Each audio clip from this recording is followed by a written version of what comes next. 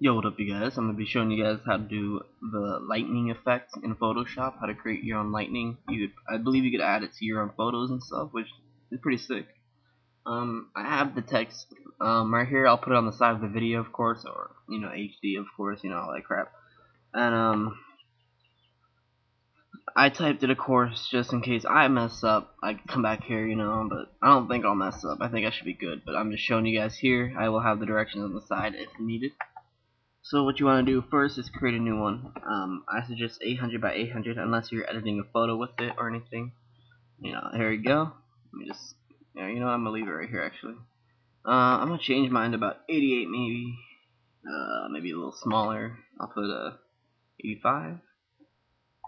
Maybe smaller. Uh, no, I'm put freaking 78. There we go. I just, you know, what I want. You do gradient tool, click G or that. Um, the default one, it, oh, I don't have anymore, is uh, white to black. You want to change it to black to white to get the. Well, I, I don't know about the other way, but this is the way I do it. This is the way I learned, so I don't know. Uh, what you want to do is drag it across and hold shift to make it straight. It's about uh maybe you know like almost all the way. If you see the grayish is right here, you want the gray where you want the bold. So yeah. So now you go to filters, um, render, difference clouds and holy shit, what the fuck? Oh. Nice.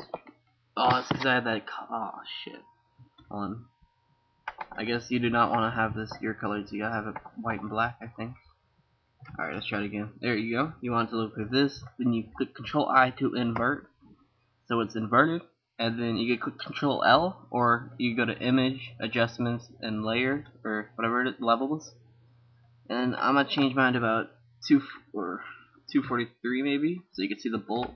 You, know, you, you just mess with it right here. Just grab this and drag it along how you want it. I usually just like a standout maybe, but get a little cuteness, you know. And that is how you make the bolt. And to make more, I'll show you guys. Is very, very, very easy. Create a new layer. And if you see this new layer see-through. So get the gradient tool again, which you should already have. Do not hold shift this time and angle it so you see the middle of this line will probably be where this bolt connects on the top, you know, like if there happens to be a bolt going through the middle of this, about right here maybe.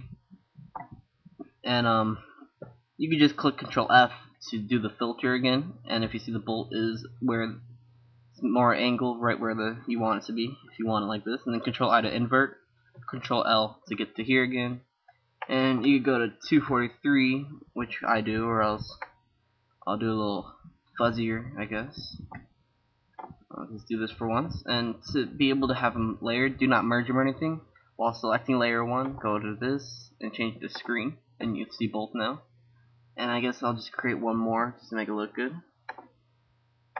I'll do this sort of quick. Alright, Control F, Control I, Control L. Um, about here and turn this one to screen also. So now you see them all together. Now merge these control E if you don't know.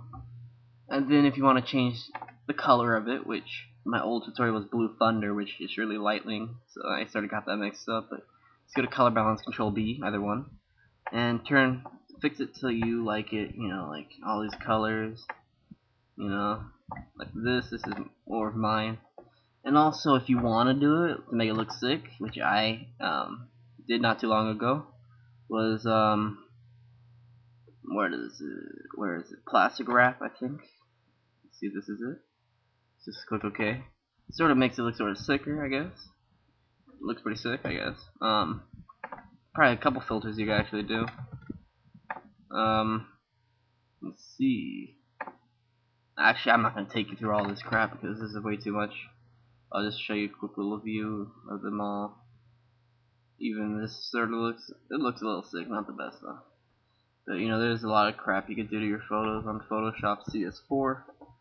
And then of course you could save this to whatever you want. You know, put some text in here, like, I don't know why my computer does this whenever I click T, it always gets slow. So, you know, like, type, you know, like, come on now. Black It's not black on black. It's not really worth it much right now. Uh, let's see. Turn this to white actually. You know, you could you could edit this how you want it. Change the font size font to like you know whatever you want to do. Put it up here. Put it down here. You could actually probably make a cloud up here too. I haven't tried yet, but that's all I gotta show you. This is the tutorial of making. This is well blue lightning, but you can change it to whatever color or whatever you want. I believe you could add the thunder or lightning or whatever to pictures. Like I have not tried. I'll try later. Put on the side, you know. That's all I gotta show you. So everybody, peace out, and please subscribe. Peace.